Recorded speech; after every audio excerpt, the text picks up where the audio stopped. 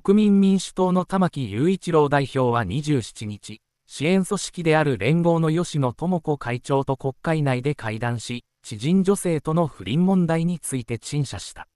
連合関係者は記者団に、吉野氏が、けじめをつけるべきだと玉木氏に苦言を呈し、責任の明確化を求めていることを明らかにした。写真、時折涙を浮かべ、不倫報道を認める玉木氏。会談は冒頭のみ報道陣に公開され、玉木氏は連合の現場で支援をいただいた皆さんの期待と信頼を裏切る結果となった。心からお詫び申し上げたいと頭を下げた。会談後、玉木氏と吉野氏は並んで取材に応じた。吉野氏は、信頼回復に向けて努力をいただきたい。身内からすると、期待をしているだけ厳しくあるべきだと思っている、と述べた。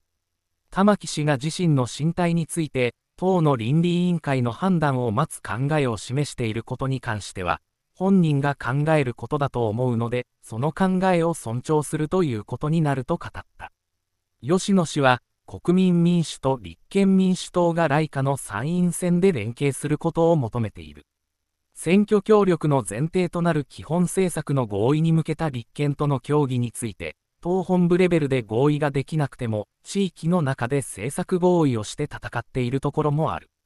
それはそれで地域ごとに進めてほしいと述べ、早期進展を求めた。